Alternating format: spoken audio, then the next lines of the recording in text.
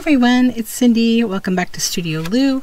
We're here today for episode three of Stitcher's Haberdashery, where we make sewing themed, stitching themed um, ephemera. So today I'm going to be inspired by a couple of vintage things. Um, these these are old yarn sample cards um, that are from yarn companies. Um, this was from an estate that I inherited um, of a we from a weaver who um, used to have her own large weaving store business. So um, you could get, and you still can get if you are a retailer of wool, um, these kinds of sample cards. So yarn uh, sample cards. That's where I'm going to go with this today. So um, a couple things. So I'm going to actually use index cards for this project. I'm going to make them a little smaller. You could make them full size.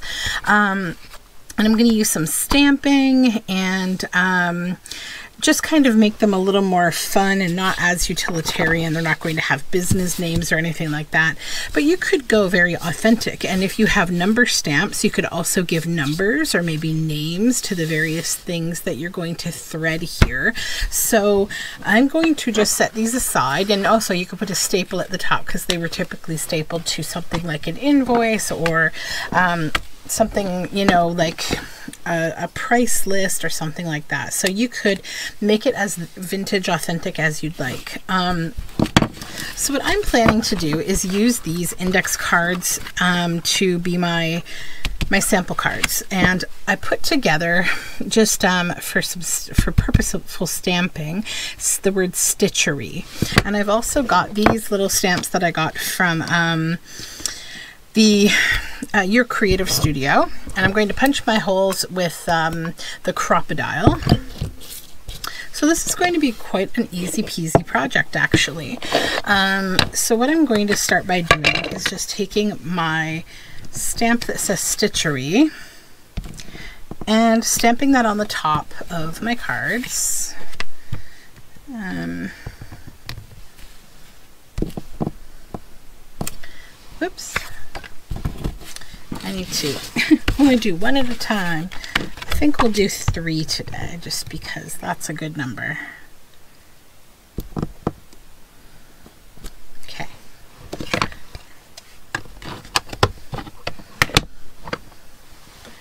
Just put that back here. Okay, so now I want to go ahead and punch the holes and I'm going to use the larger of the two holes on this one so the um, 3 16th and then um,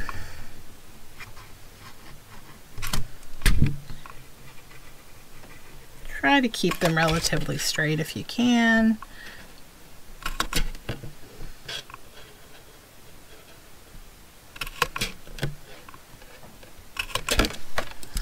Um,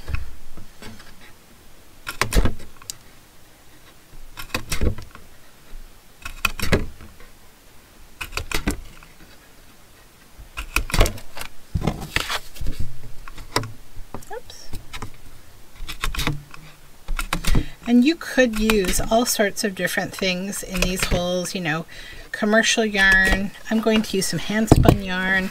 You could use embroidery floss. Um, you know, you could do a full, um, a large full range of like the whole, you know, all of the color. Like this is the full range of colors, you know, and you could do both sides.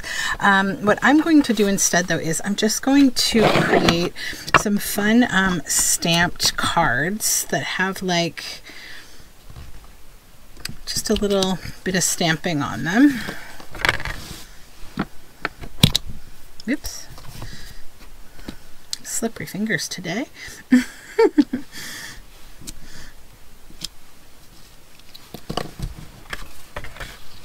this is just a really simple little technique today. Okay, and then I think I'll put a second one on there because these are kind of similar sprigs. Let's get rid of that little piece of yarn. So these theoretically could have journal space on both front and back. You could obviously make them busier, you know, I'm just going to kind of keep it simple. So for the first one, I'm actually going to use my own hand spun yarns. So this is where you could put like your numbers, right? Or your colorways. You could give them each names. Like maybe you'd call this one um, bubblegum or something like that. So this is a relatively bulkier weight yarn. So I'm just going to try to pop it in. And just pop your loop through and then you can kind of slip knot it. Because that's actually how these are done. They're all slip knotted like that. And you could make them as short or as long as you like. I'm just going to kind of go with the length that I cut these at. And I think these would be nice tuck spots. They would be nice journal cards.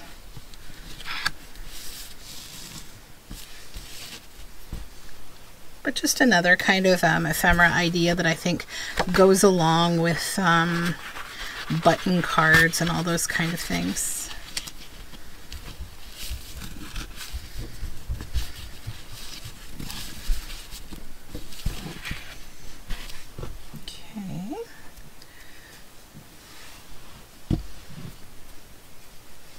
And you could work in color themes, like if you were doing, you know, a purple journal, you could do five shades of purple or, you know, 50 shades of gray, whatever you like.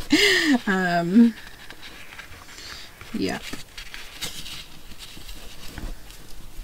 But it's a pretty quick and really beautiful technique. So like now you have this pretty piece of ephemera, right? Very easy. And then I thought I would also try with this. This is um, sari silk that's been pulled out of one of those woven mats. And I'm, this one's a little thicker, so I'm actually just going to go ahead and try to tie a knot with these. Because, you know, you could do like fabric samples as well.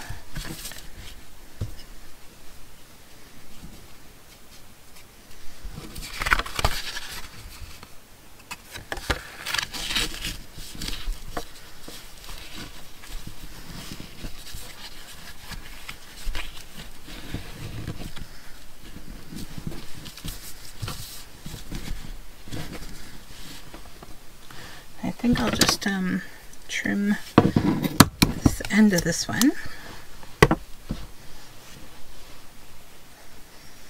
This one I think I could make a little thinner. These are a little bit thick actually. We'll see if we can tear that. There we go.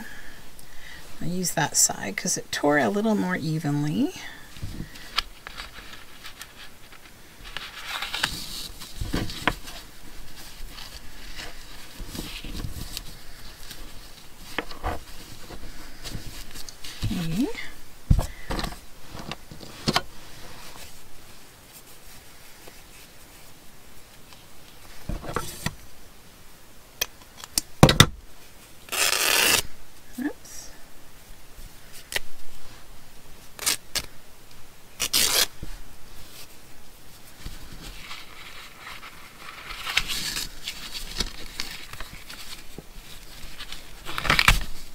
Is a very weak fabric. okay, let's try this one and see if it acts a little better. It is, after all, sari waste, so it's not surprising it's a little weaker. It's just going to be a teeny one. But that's okay. It's actually kind of cute that length. These are the worst scissors for fabric. Oh my goodness. not fabric scissors in case you were wondering. there we go. These are my little fabric scrappies bag here. There we go. And I need one more. I think we'll go with more of this purple because it's just very pretty. We'll do two purple ones. Not too bothered by that.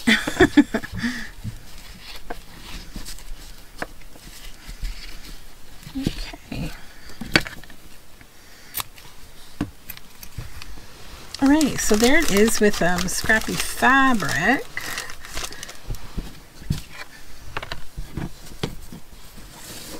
Then um, you could also use um, laces. So let's try it with a lace.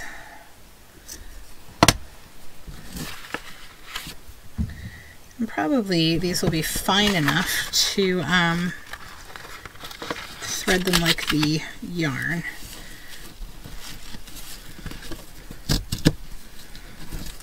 Lace sample card.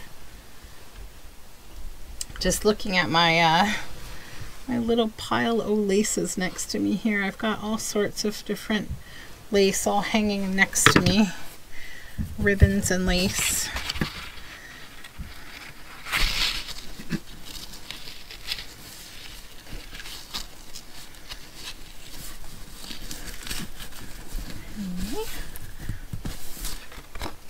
You could also, um, if you were using a thinner paper and you were worried about like giving these a tug, you could use those um, hole protectors to um, just protect your paper from tearing if you're going to be tugging.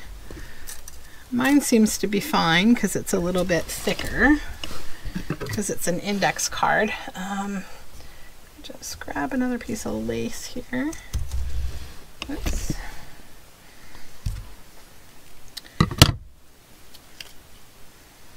That one's not going to work. That one is too much, too easy to fray. Hmm. Just hunting through lace. okay, I think I've got one. Here we go. Whoops.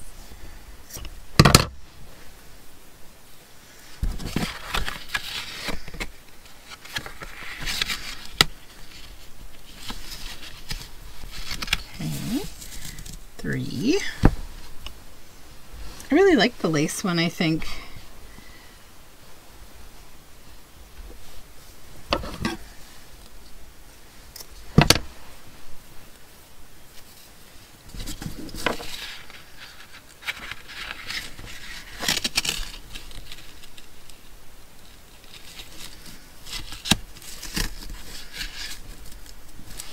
One more to go.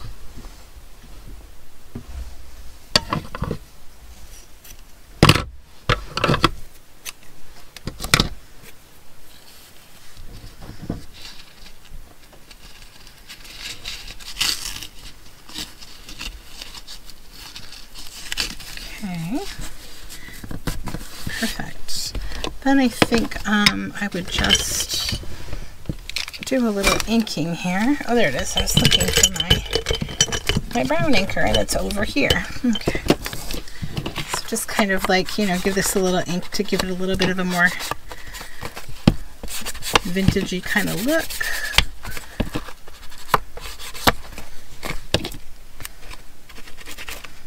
You could also do that to your laces if you wanted to make it look like it had been you know traveling in a trunk or something and had taken a trip